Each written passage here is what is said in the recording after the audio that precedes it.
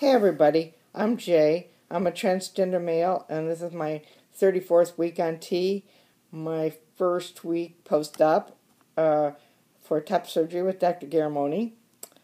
Um, I'm. This is my last day in Florida. Um, I'll be leaving tomorrow. Um, so I'm really anxious to go. I, um, I, my uh, the kid that's watching my dog um, has been putting up pictures on Facebook. Apparently, she's in for a little adventure. Um, he found out she jumps. Um, can jump. No kidding. Anyway, um, I've taken my first shower. I am. I was so happy to take my shower. I was kind of anxious about taking it because, um, well, for one thing, I do anxiety very well. Um, and another is um, I was disconcerted. I remember to do it the way he has me to do it, but it was not very hard. Um, my hair was so greasy that it was like it almost started looking good again. It was really odd how that worked. Anyway, um, also, you know, I've changed it in my bandages one time, and um, I've um, you know, like, um, so that all went okay. I got a chance to look at my nipples very well. Um, they look very good in a gross sort of way, odd, very flat. Um, and they're pepperonis. Um, delicious. Mm.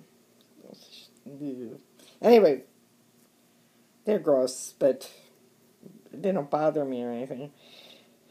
He let me look at my right one really a long time, and I see why, because the right one looks really much better. Um, anyway, this is what I look like. Um, um, no, there are no dog ears, you could see that. Um, and um, anyway, um, I don't have any pecs, or doesn't see, seem to be any pecs. Um, I um, do push-ups, was doing push-ups and planks and stuff. So if I, I don't think I'm going to develop that much of one, you know, any. Um, but as Dr. Garramone said, I look, he said I look very good for a 65-year-old guy. And I think he's right. I mean, my chest. I don't think he was talking about the rest of me. Um, anyway, um, I am going to be posting part of the reveal video. I don't really feel comfortable with it all. And I'll probably show, maybe I'll do one after, right after a shower so you can see um, what the nipples look like. Um, but I wasn't able to do it today that way. Um, I could add the pictures at the end, but I'm not sure quite how to. The iMovie on the iPad is a little different than the iMovie on the Mac, so um, I'm not um, going to mess with it. Um, anyway, um, so anyway.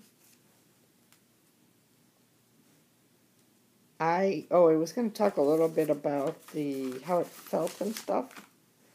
It's I have feeling it everywhere. I know people have talked about having um, numb places. I don't seem to, or I haven't found any yet. Um, that doesn't mean I have full sensation. I don't have um, the only pain I have is the right drain hole, which isn't terrible. It's just annoying kind of pain. Um, I don't really have pain on on the incision line or anything. Um, you would think you would, but I haven't really heard of anybody talking a lot about that or anything.